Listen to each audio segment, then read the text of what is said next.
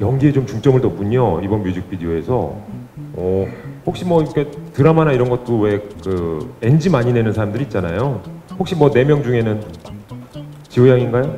아 그게 그 사이코패스적인 성향을 연기할 때가 아니라 그 전에 어 약간 되게 사랑하는 사람을 표현할 때 너무 눈만 마주치지도 않았는데 너무 웃기더라고요. 음, 아 그런 연기를 해야 된다는 것 자체가. 네, 그- 너무 들어가기 전부터 막 소름이 돋고 막 되게 막 민망하고 그래서 아, 소름 돋을 정도예요 제이셉 군이. 이게 약간 음, 오빠도 많이 늦잖아요.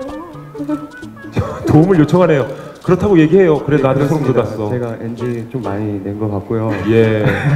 어 저도 그 연기를 해본 적이 없는데 어 지호랑 그렇게 사랑하는 연인이 되어야 된다는 게 음, 사실 그게 너무 힘들었어요. 너무나 좋아하는 동생이고 하지만 사랑을 해야 되는 그런 연기를 예. 처음 이제 하다 보니까 너무 좀 어려웠는데 그래도 동생이 리드를 잘 해주더라고요. 그래서 어. 네, 저는 좀 쉽게 촬영할 수 있었던 것 같습니다.